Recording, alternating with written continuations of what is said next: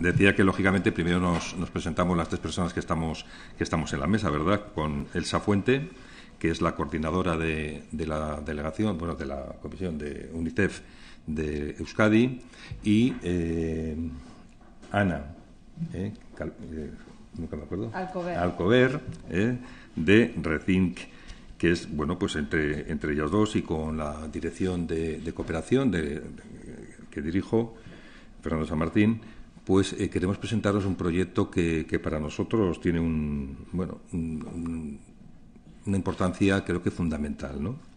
Es el, proyecto Resin Refus o Resin eh, Refugiados, que eh, de alguna manera tiene obtuvo su primer inicio en lo que fue aquel pinchopote que se hizo en la Plaza de Cataluña ya hace un tiempo y en la que se quería de alguna manera en aquel momento bastante crítico bueno movilizar a la, lo que es la, conciencia ciudadana pues a través también de bueno, unas aportaciones económicas, ¿verdad?, que se producían después de haber hecho entre todos el rostro de un refugiado, de una persona refugiada y tenía su importancia porque al final cuando hablamos de personas refugiadas y estamos hablando además de, números enormes, pues eh, se nos pueden pasar muchísimo eh, lo que en realidad está detrás de todo ello, ¿no? que son personas con sus miradas, personas con sus historias y personas con toda una trayectoria que han dejado atrás con una mochila muy cargada en el sentido psicológico, ¿verdad? Y llegando a un lugar donde no han querido venir, probablemente, donde en muchísimos casos no son bien recibidos, ¿verdad? Y donde han demostrado que esta Europa que salió de las cenizas hace pues casi 80 años, parece que mm, ha perdido la memoria de lo que fue, de lo que fue toda una reconstrucción y de lo que fue también la acogida eh, de otros países, ¿verdad?, para reconstruir, insisto, esta Europa que luego fue del bienestar y que parece que en este momento está dejando de ser del bien ser. ¿eh? Creo que, que es importante recalcar esto. Creo que es muy importante que no vayamos dejando la problemática del mundo de las personas refugiadas, no solamente estas personas que, bueno, por el conflicto bélico de Siria y de otros conflictos, pues se nos han hecho más presentes dentro de nuestro propio territorio europeo, sino de todas aquellas personas desplazadas que existen en el mundo y que luego Elsa nos dirá, ¿verdad?, eh, donde precisamente eh, contamos también con personas muy, muy, muy vulnerables, que son las personas más pequeñas, ¿verdad? Las personas que son los niños y las niñas. Y queríamos hacer, eh, bueno, pues este, este programa de sensibilización en torno, evidentemente, a estos días que, que estamos ahora mismo celebrando. El próximo día 30 es el aniversario de la muerte de Gandhi, es el día de la no violencia y de la paz, el día escolar, perdón, de la no violencia y de la paz, y eh, bueno, pues en ese entorno queríamos aprovechar precisamente este, este tema. Pero insisto que, por supuesto, tiene que ver con lo que es el drama de los refugiados, de las personas refugiadas de, Siria, pero que no podemos olvidar a los niños que están en el Congo, ¿verdad? Y que son eh, producto de, la mafia armamentística, por así decirlo, ¿verdad? Para, para conseguir ese, ese coltán que utilizamos luego nosotros en nuestros teléfonos, en nuestras tablets, en nuestros ordenadores y, eh, bueno, Eritrea, Afganistán, es decir, tantas, Nigeria, tantas eh, personas, eh, tantos millones de personas desplazadas. Ellas nos van a explicar exactamente en qué va a consistir el programa específicamente, pero yo lo que quería, por supuesto, es, bueno, poner ese, ese punto ¿no? de, de conciencia ética, de recordar y de no olvidar algunos datos que creo que nos tienen que hacer removernos la conciencia. ¿no? Es verdad que una fotografía en un momento determinado eh, nos removió a todos, eh, fue la foto de, de Ailán, pero es cierto que también hemos visto muchísimas fotografías por, por otros medios y por otras eh, fuentes en las que a veces pues, no nos ha removido la conciencia. ¿no? habrá que preguntarse por qué ese día pasó eso y por qué otras veces bueno, se nos va olvidando o imágenes que hemos visto pues se nos van en, fuera, ¿no? en, el, en el imaginario. Yo quisiera recordar que solamente en el año 2015 Europa ha levantado 235 kilómetros de vallas. No vamos a recordar lo que ahora pretende determinada persona hacer en otra parte querida para nosotros, México, que acogió a tantos desplazados de la guerra civil, ¿verdad? Pues bueno, pues ahora se ve amenazada por, por esa intolerancia y por ese racismo real, de lo que puede ser construir un muro más, ¿no? como tenemos en otros lugares también del Mediterráneo. Eh, en esa enorme valla que es el Mediterráneo han muerto ahogadas casi 4.000 personas refugiadas. Y entre el 2015 y el 2016 han llegado a Europa 50.000 menores, de los cuales 10.000, nos dicen, han desaparecido, o por lo menos están en una situación de indefinición, y 770 han muerto, y que el 90% de los niños y niñas que viajan solos, viajan solos y por lo tanto se exponen a mayores riesgos de todo tipo, como todos sabemos. Recordar también que hay 2,5 millones de niños y niñas que se enfrentan de nuevo al frío en los refugios vallados. Y una denuncia, ¿eh? denunciar evidentemente la incompetencia de nuestros estados frente a una sociedad civil que ojalá sea cada vez mayor, ¿verdad? Pero sí es verdad que brotes de sociedad civil que no se resignan a que esto siga ocurriendo ni en el corazón de Europa ni desde luego en otras partes del mundo que tenemos olvidadas, ¿no? En África que, tenemos ahí, ¿verdad? Eh, casi casi como un continente fallido, eh, en donde las guerras silenciadas y silentes, ¿verdad?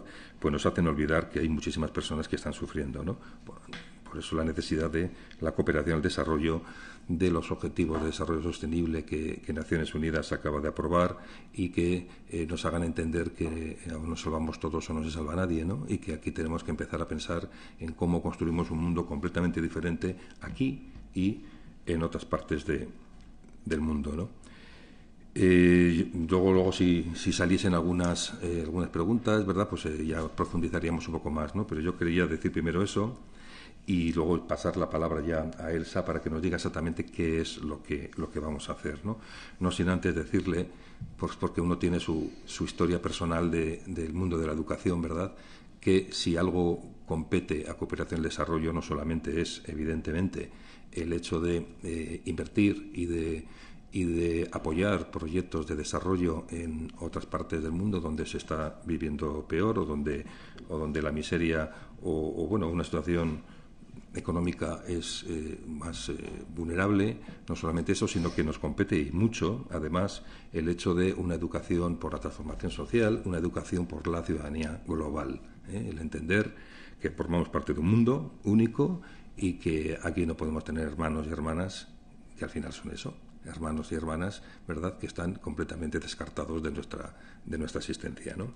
Entonces, en el mundo educativo, yo creo que tenemos que incidir muchísimo. Está muy bien que, que los adultos eh, sean solidarios, que los adultos eh, den pasos hacia adelante, pero las nuevas generaciones tienen que saber lo que está oyendo, ¿no? Eh, no podemos educar a nuestros niños y niñas y a nuestros jóvenes con, una idea de un mundo ficticio, de una burbuja eh, en la que se nos olvida lo que es el mundo, el mundo global. Entonces nos parecía muy importante la incidencia en los más pequeños, ¿verdad?, para que vayan eh, conociendo. Por poner un ejemplo, ¿no? Eh, oía, creo que me parece que era ayer, que un chaval, un adolescente puede ver a lo largo del año no sé cuántos miles de personas asesinadas en televisión, ¿no? y probablemente eso le está creando una insensibilidad, ¿verdad? De que, bueno, casi casi como que es un juego, ¿no? Bueno, vamos a profundizar, ¿eh? vamos a profundizar y que seamos capaces de distinguir lo que es la ficción de lo que es la realidad que también está pasando, ¿no? Y es en lo que yo creo que va a incidir este, este programa que desde que lo conocimos nos pareció que era algo fundamental dentro del trabajo de la Dirección de Cooperación y Desarrollo. Y ya prometo que me callo y le paso a Elsa la palabra. Bueno, en primer lugar, gracias a todos y a todas por, estar aquí, por, eh, bueno, pues por la atención que quizás este, este proyecto puede y esperemos que siga eh, generando.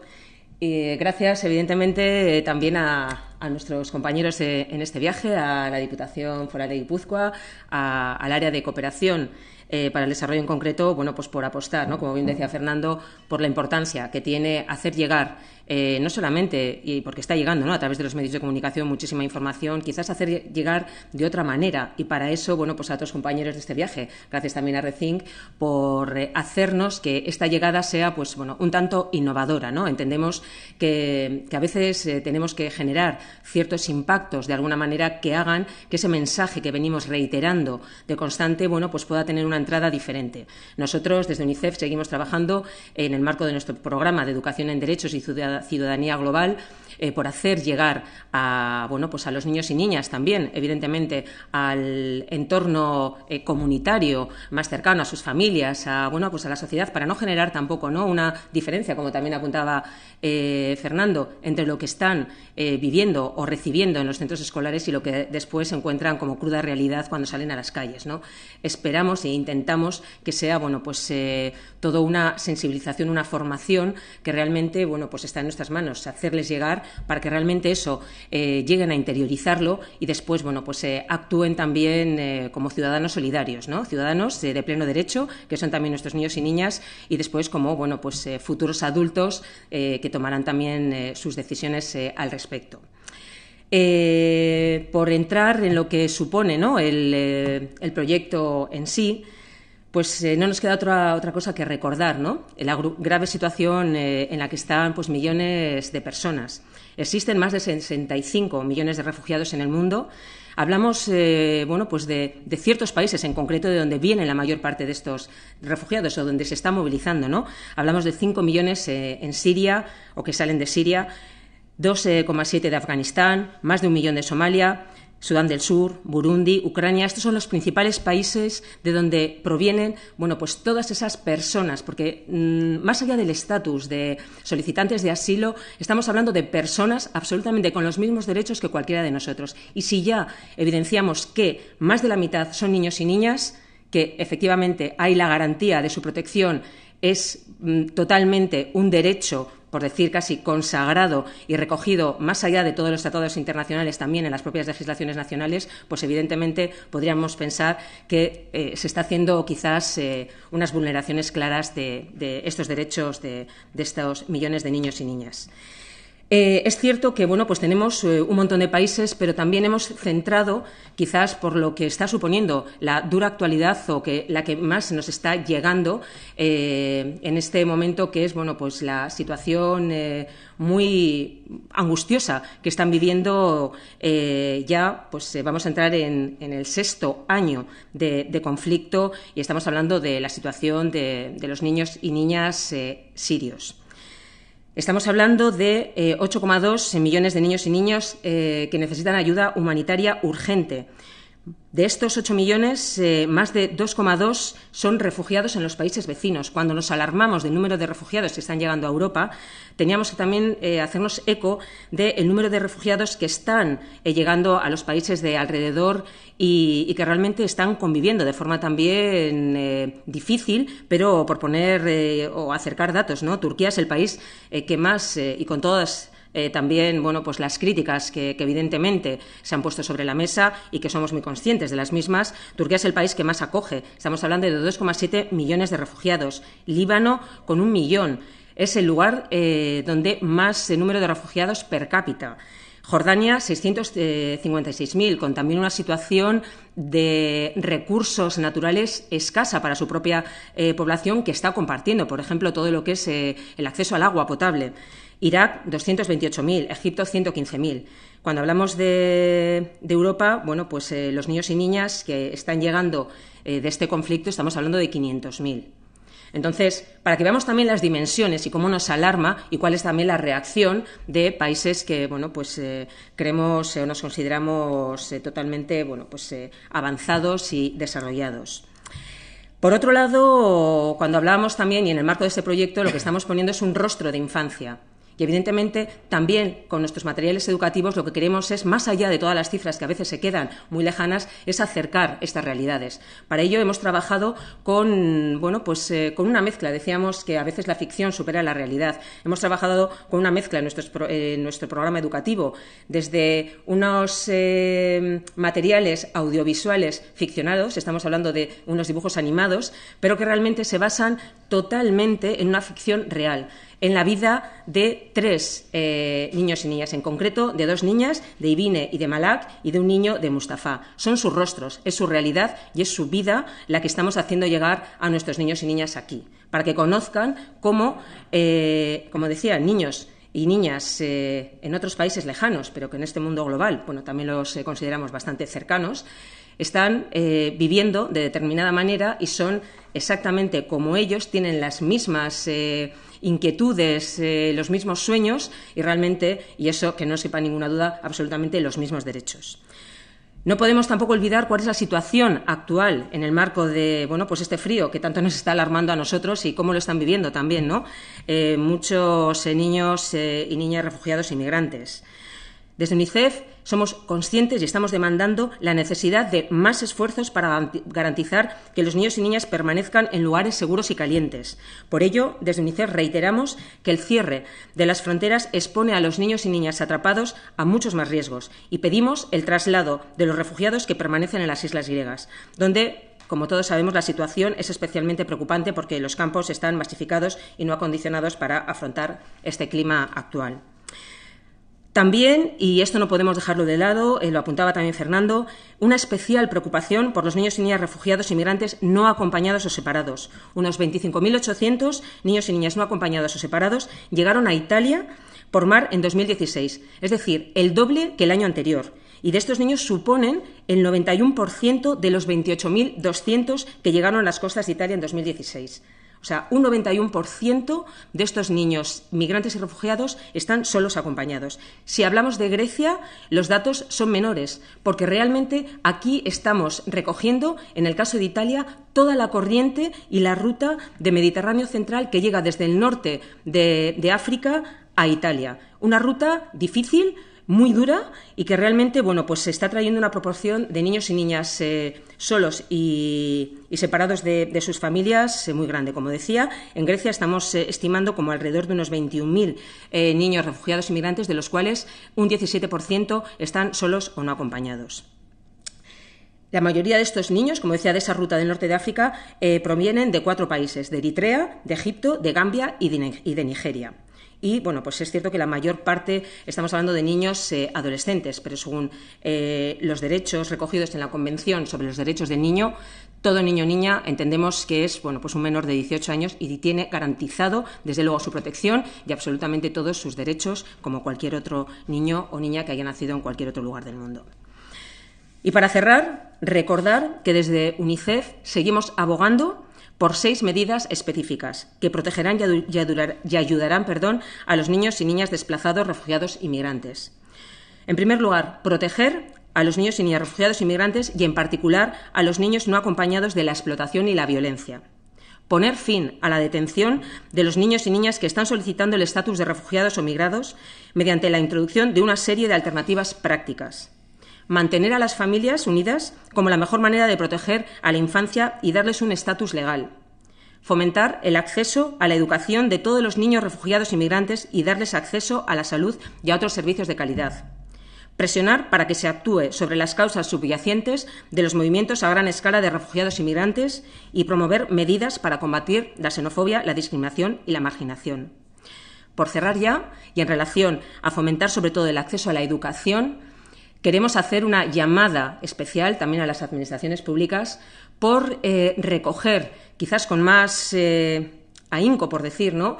Eh, dentro de los llamamientos que desde UNICEF y desde otras agencias se están haciendo en el marco de la ayuda humanitaria, entender la importancia que tiene la educación en emergencias, que muchísimas veces no está recogida dentro de, las eh, áreas de financiación en situaciones de emergencia y entendemos que es fundamental para poder trabajar también en entornos seguros con los niños y niñas, abogar y ayudar por esa recuperación psicosocial y, evidentemente, no romper esos ciclos de formación que, bueno, pues eh, hemos recogido que más del 80% de los niños han perdido dos años eh, eh, de escolarización y realmente bueno pues contemplamos que esto es un ciclo de pérdida generacional que en estos momentos y con todos los avances y la situación del mundo pues no podemos no podemos dejar.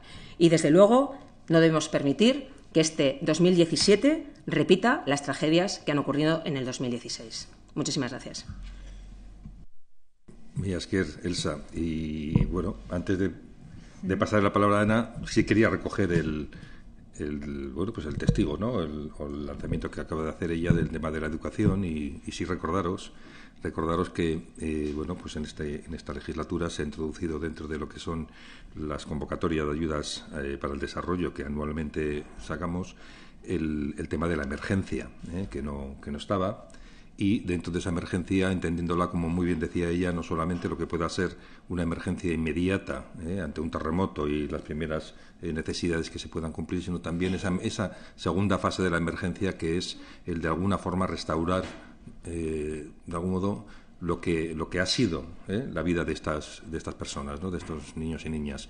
Y quería recordar bueno, pues una de las ayudas de emergencia fue precisamente la de la financiación de cuatro maestras en un campo de refugiados en el, en el Líbano, eh, para, bueno, pues para mantener ese, ese sistema educativo más precario, ¿verdad? Pero para darnos cuenta de que esos niños y niñas no pueden estar, evidentemente, ajenos a, lo que es el sistema educativo. ¿eh? Y, vamos, que se recoge, que estaremos atentos ¿eh? a, a, esa, a esa realidad porque es que al final es lo que, lo que tenemos que ir pensando. ¿no? A mí me asombra muchísimas veces que ni tan siquiera por, por puro egoísmo una sociedad más o menos del bienestar responde ante posibles peligros que puedan surgir más adelante, ¿no? Digo, si no, si no te sale la solidaridad, por lo menos sea egoísta ¿eh? y evita que puedan ocurrir cosas, ¿no? Entonces, lógicamente, personas sin trabajo, personas sin, ¿verdad? Sin educación, aparte de que, de, bueno, pues de la explotación real de esa persona, de que ha perdido buena parte de, de su vida, pues, pues luego está la, la, la, gran injusticia, ¿no? Y si me permitís, bueno, pues lo, digo también, porque es una pequeña, una pequeña anécdota personal, ¿no? Claro, yo soy hijo de una, de una niña de la guerra y de un padre que con 15 años terminó, terminó la guerra civil. ¿eh? Y, y, claro, yo he visto a mis padres, ¿no? Que luego tuvieron la suerte de que de alguna manera pues han estado en el, en el, estado de bienestar y han podido ellos mismos formarse, ellos mismos leer, ellos mismos, bueno, pues salir a, hacia adelante, ¿no? Pero, pero claro, cuando yo pensaba en mi madre con 13 años que dejó la escuela, se tuvo que ir a Francia y volvió y a trabajar. ¿No? Eso es lo que estamos viviendo ahora mismo, ¿no? Y pero eso lo hemos vivido nosotros, los que somos todavía jovencitos, ¿verdad? lo hemos vivido en nuestras propias carnes, ¿no? Yo creo que eso es, tiene que estar muy, muy pendiente y por eso pues hay que agradecer, evidentemente, la tarea de, de, UNICEF que, que, bueno, pues en esta defensa de, de los derechos de, de, niños y niñas, ¿no? Insisto, retomamos el, la, petición y el reto que nos estabas diciendo. Y ya le paso la, la palabra a Ana, que nos va a hablar más en menudo de lo que va a ser exactamente la acción, a cuántos colegios va dirigida, etcétera, etcétera. Sí. Hola. Bueno, yo, igual que Elsa, primero me gustaría daros las gracias porque Rethink eh, tiene muy buenas ideas, eh, trabaja proyectos, pero si no tiene partners, si no si no se apoya en otra gente, pues es difícil llevarlo adelante, ¿no? Entonces, bueno, pues creo que hemos hecho un trío muy bueno, ¿no? Entonces, eh, mm, yo contaros un poquito lo que hemos planteado con, esta, con este proyecto. Este proyecto eh, nace un poco de eh, ver lo que es el cuproking, que es el arte de poner vasos en las vallas eh, y llamarte la atención, porque es una cosa impresionante y verdaderamente muy, muy bonita, pero que a la vez te hace pensar en todas esas imágenes de vallas con refugiados que durante ya llevamos bastantes años viendo en la televisión y que llega un momento en que nos pasan un poco eh, por nuestra vida y que las dejamos pasar, ¿no? No puedes estar viendo todos los días noticias sobre refugiados, sobre niños, sobre gente detrás de unas vallas y demás y dejar que eso pase, ¿no? Entonces, bueno, la unión un poco de todo esto nos llevó a crear todo un proyecto que se inició en el mes de febrero, bueno, antes, pero se lanzó en el mes de febrero con lo que ya hemos contado del, del pinchopote solidario. Entonces teníamos un objetivo muy concreto, que era conseguir un dinero para comprar una, una Zodiac especial, etcétera, etcétera.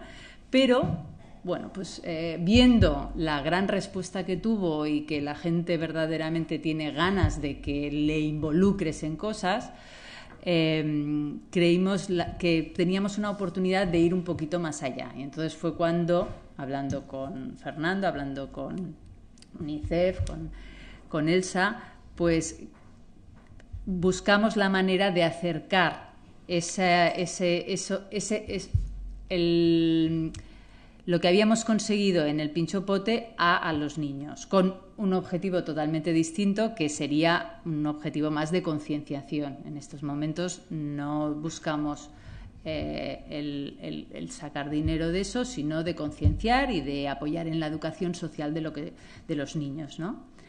Entonces, eh, la idea fue preparar una caja, un pack, para poder mandar a los colegios y que los niños, dentro de ese programa educacional social que eh, UNICEF ya tiene organizado con todo esto que os ha contado Elsa, hubiera una pieza más que es la de montar su propia valla en el colegio con la imagen de un niño, eh, de un niño refugiado. ¿no? Entonces hemos preparado unas cajas eh, en las que está todo eh, muy sencillo y muy fácil para que los colegios, los profesores puedan, puedan montar estas vallas con los niños. dentro de estas cajas puedes encontrar Sí, lo, vamos a ir abriendo, lo veis, ¿no? Lo primero que encontrarán es un folleto. En este folleto hay una pequeña explicación de todo esto que os estamos contando. Sí, ábrelo, ábrelo. Y, están, y hay tres plantillas, porque el montar esto, bueno, con unas plantillas es bastante sencillo, ¿no? Hay tres plantillas distintas, ahí están las plantillas. Hay dos de caras de niños, y hay esta que es muy simple por si se quiere hacer con niños muy chiquitines.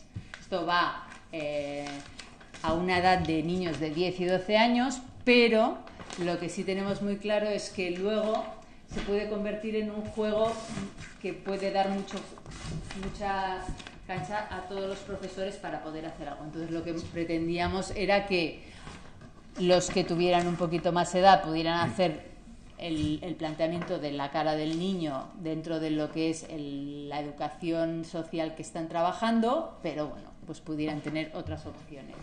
Y entonces, dentro se van a encontrar un kit completo.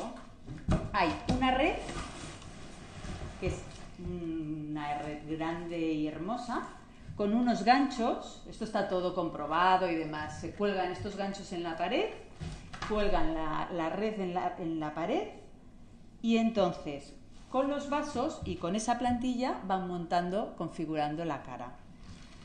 Para que no se les mueva también les hemos puesto unos sticks para que en un momento dado pues, puedan pegar los vasos, etcétera, etcétera.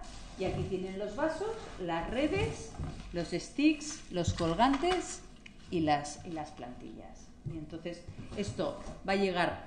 Inicialmente eh, hemos eh, contactado con todos los colegios de, Guipúzcoa eh, y se está trabajando. Desde UNICEF, además, que ellos tienen mucho contacto y demás, estamos trabajando. Ahora, en estos momentos, empezamos con 27 colegios. Y, pero ya hemos dicho que eh, esto no se para aquí. vamos a intentar que para si no puede ser para, esta, para, este, para este curso, para principios del curso que viene, que los que no lo han podido meter lo puedan meter. Esto es un, pack sencillo de hacer, eh, bastante ágil y, entonces, bueno, pues lo que nos interesa es que llegue al máximo número de niños posibles en toda Guipúzcoa, ¿no? Lo que buscamos, concienciar y sensibilizar, ¿no? Y que y a partir de ahí que tenga una repercusión en los medios y que dando esa visibilidad a este problema Esperamos además que si esto lo ve más gente y lo quieren hacer fuera de aquí, o sea, pues agrandarlo tanto como podamos para, para poder ayudar en esa educación social. Y bueno, pues eso es lo que estamos trabajando. Igual ahora damos paso a al vídeo. Sí, para sí, sí. El... Pero concepto todo esto importante, esto de aquí, ¿verdad? Que sí. es, es, la información la que el profesor se implica, la que, eh, la que los chavales van a, van a ir viendo, que es lo, el conocimiento de la realidad, ¿no? De, del medio. Y ahora pasamos al vídeo. ¿eh? Uh -huh.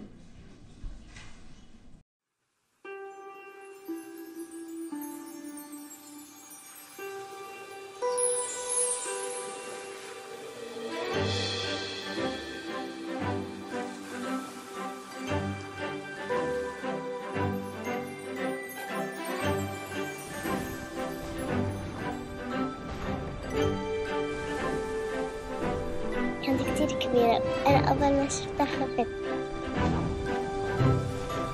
أيوة وقت ما مشينا شوي. المي دخلت على البلم. وكل ما نمشي يطرش علينا مي. وكنت بردانة كتير كتير كتير. بعد ما بردت خفت كتير كتير كتير كتير.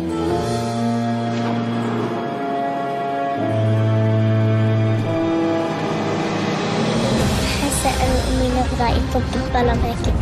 وزغراء إنه شجرة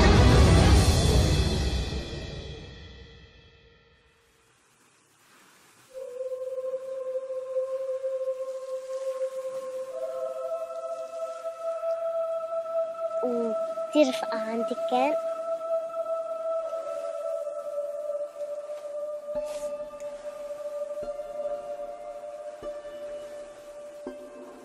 طلع هذا حدا.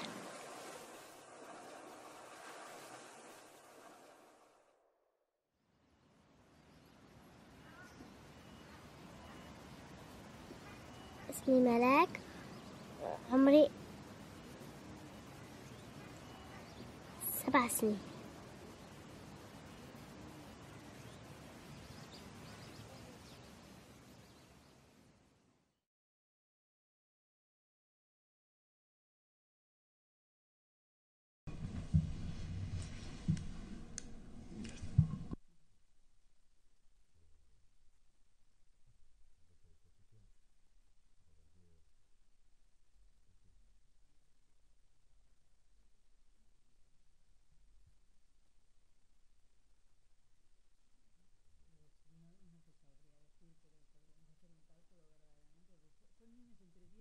En principio son niños entre 10 y 12 años, o sea que serían tres cursos, 10, 11 y 12.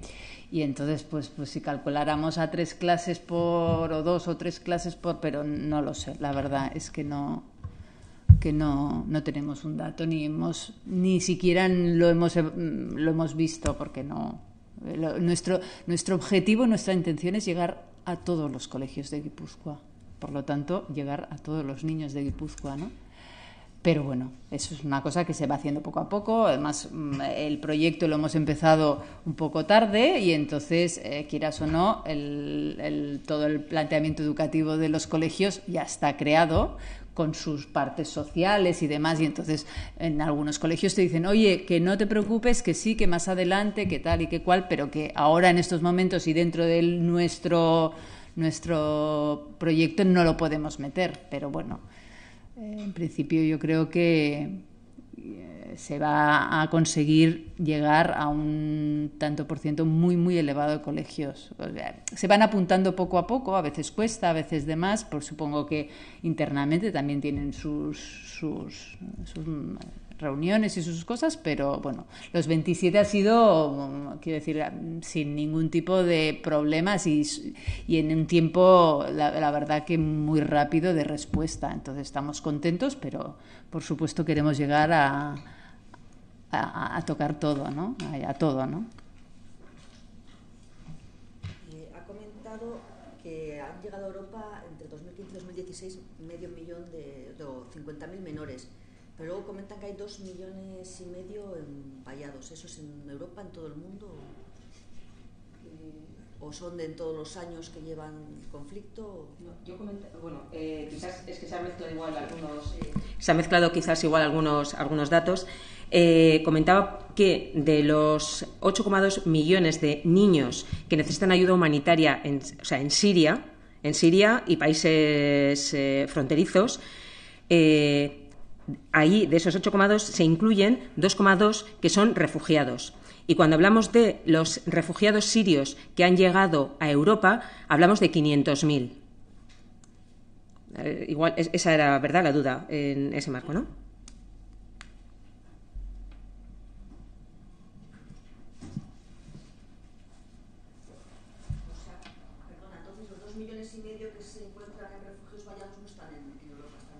¿no? Porque comentaba que los países que están acogiendo a mayor número, por eso cuando nos alarma ¿no? Eh, la llegada a Europa de refugiados, es que eh, el mayor número de refugiados está en otros países.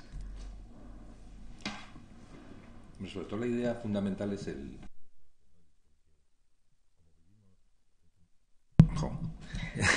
Eso de no tener tanta como vivimos en su momento también con el tema de la guerra de los Balcanes, ¿no? que nos afectó y nos, y nos lo, tuvimos en el pleno corazón prácticamente de, Europa, ¿no? pero que luego vamos olvidando, eh, como diría yo, la excusa, entre comillas, excusa en algún sentido de la palabra, ¿eh? es el, el, conflicto que estamos teniendo en este momento en Siria, pero esto, por desgracia, por una vez, una carrera de fondo es una desgracia. Esto es una carrera de fondo. Es decir, vamos a seguir teniendo refugiados, los hemos tenido, los, eh, los tenemos ahora mismo y ya digo que con el mundo que tenemos pues van a seguir existiendo y porque además, como decíamos antes, hay tantas zonas donde, donde existen personas eh, desplazadas que, luego vamos a tener que ir restaurando. ¿eh? precisamente las vidas y y los países y las, y las sociedades que, bueno pues que han quedado absolutamente destrozadas y, de, y desmanteladas ¿no? ahora mismo pues bueno no sé si terminará el conflicto de Siria en breve o no en breve pero desde luego aunque se llegase a un a un consenso, entre comillas, entre facciones rebeldes, entre el gobierno, entre Rusia, entre el otro, el de aquí, el de allá, eh, hay que reconstruir toda una sociedad y va a costar muchísimo que vuelvan esas personas y algunas ni volverán siquiera, ¿no? Y se quedarán en los, en los países de, recepción o en tierra de nadie muchísimas veces, ¿no? Es duro hablar así, pero eso es una realidad que tenemos, ¿no? Entonces, cuando hablábamos de esos 2,5 millones de, niños, ¿no? que es lo que comentaba ella, es que es en lo global, ¿no? que no podemos nunca, yo creo que, olvidar, ¿no? en lo concreto, lo muy concreto que es esto que estamos viviendo, pero que, insisto, ¿no? pues tanta gente que, se, que descubrió a través del programa de Jordi Évole, me parece, ¿verdad?, pues todo un trabajo que llevaba haciendo Alboan con, con la tecnología sin conflictos, etcétera, etcétera, etcétera, de guerras que, que están ahí, olvidadas, pero que son las que están provocando, ¿no? Muchísimas veces y el éxodo masivo de personas que luego se nos quedan en la frontera de, Melilla, ¿verdad? Y de donde no les dejamos pasar. Y ahí sí que hay vallas también, ¿eh? Mm. Y vallas muy, muy dañinas con sus concertinas y con sus y con sus formas de destrozar la vida de la gente, ¿no? Nosotros lo primero que vemos es eso, lo que puede ser el momento de la, de, de la valla y el cómo muchas veces, ¿verdad?, hasta el propio gobierno español, pues incumpliendo la propia legalidad, expulsa desde el propio territorio cuando no debiera hacerlo, ¿no? Pero en el Monte Gurugú es que hay miles de personas que están ahí viviendo y esperando ver cuándo pueden pasar, ¿no? Y para muchísimos de nosotros permanece absolutamente desconocido, absolutamente desconocido esas realidades, ¿no? Entonces, bueno, en este caso concreto va a los chavales y chavalas, va en otra, en otra onda, pero también evidentemente nosotros nos toca decir y, hablar de todo ese contexto que está, que está rodeando ¿no? esta, esta realidad.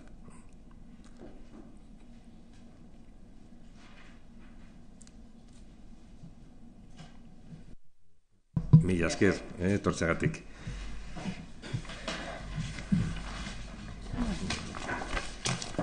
Bien.